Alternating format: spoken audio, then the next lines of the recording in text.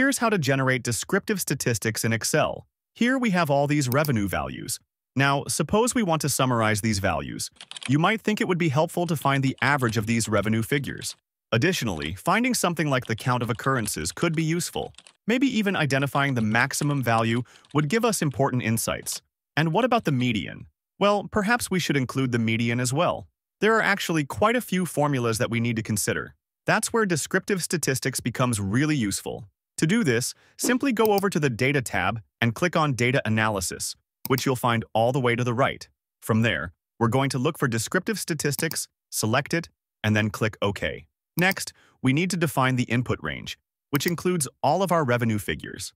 So, I'll select those by using Control-Shift-Down arrow to highlight all the values down to the bottom. Now, we want to check the box for Summary Statistics.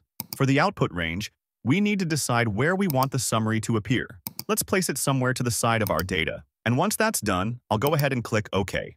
If there's any extra information we don't need, we can simply delete it. And now you'll notice that we get a detailed breakdown, including the mean, standard error, and many other useful metrics.